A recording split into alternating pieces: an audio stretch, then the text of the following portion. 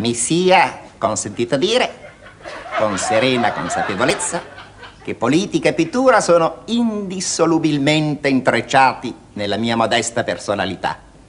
Infatti, come Raffaello Sanzi affrescò le stanze del Vaticano, io ho più volte rinfrescato le camere di Montecitorio e di Palazzo Madama, con formule politiche sempre più nuove e originali.